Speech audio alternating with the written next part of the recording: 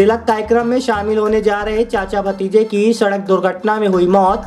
रीवा में अपने गाँव की ओर जा रहे थे मृतक चोरेटा थाना क्षेत्र में हुई दर्दनाक घटना। बता दें कि रीवा के चोरेटा थाना क्षेत्र में बीती रात हुई सड़क दुर्घटना में दो लोगों की मौत हो गई है। बताया जा रहा है कि मृतक रिश्ते में चाचा भतीजा लगते हैं जो बीती रात्रि रीवा से अपने गाँव की ओर आ जा रहे थे।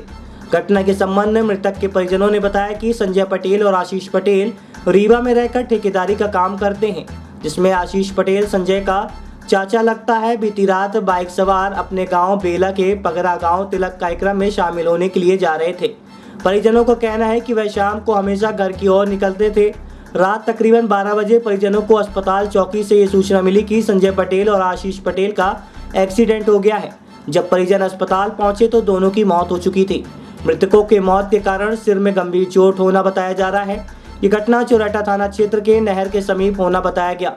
हालाँकि अभी तक ये स्पष्ट नहीं हुआ कि किस वाहन ने ठोकर मारी है या फिर वह खुद दुर्घटना का शिकार हुए हैं। इस पूरी घटना को लेकर पुलिस घटनास्थल का निरीक्षण कर रही है। इसके साथ ही मृतकों के शव का पीएम कराया जा रहा है। प्रस्तुत है परिजन से प्राप्त जानकारी के अंश।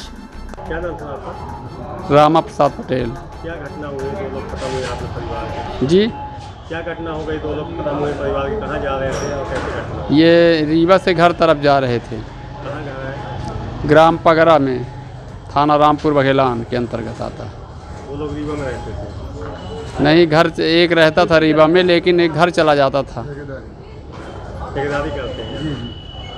घटना कैसे हुई? क्या था वहाँ? काहे को जा रहे थे? वो घर को जा रहे थे तो जो अभी मिली जानकारी के जो इस पार्ट में मिला तो डिवाइडर में ब्लड उसके मिले हैं। टक डिवाइडर लगा था। वहाँ से बगल डाइवर्सन था वहीं पर उन टकराए हैं। अब और बाकी स्थितियाँ नहीं मालूम है रात के समय की बात। में कुछ कार्यक्रम था क्या? क्या वहाँ जा रहे थे जी? नहीं कार्यक्रम परिवार में था। परिवार में था कार्यक्रम उनके घर में नहीं था। वहीं शामिल रहे नहीं शामिल लोग डेली घर जाते थे। डेली जाते हैं रोज़ घर चले जाते थे वापस। तो घटना का नहीं पता चला कैसे हुआ है।